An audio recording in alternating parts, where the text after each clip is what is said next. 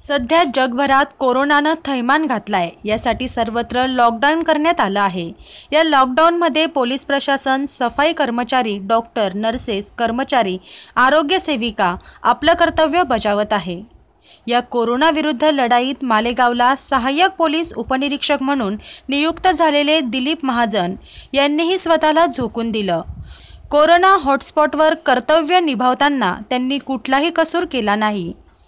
दरम्यान या काळातच त्यांना कोरोनाची लागण झाली आणि ते नाशिकला जिल्हा शासकीय रुग्णालयात दाखल झाले. त्यांनी ती लढाई मोठ्या धैर्यानं जिंकल्यानं त्यांचा पोलीस प्रशासन आणि परिसरातील रहिवाशांनी सत्कार केला. वृत्तसंकलन विभाग वेद न्यूज नाशिक.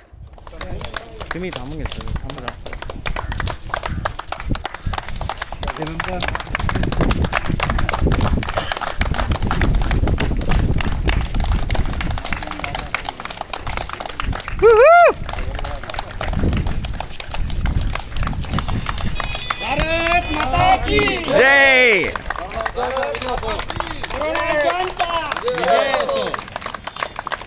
अभिनंदन करतो.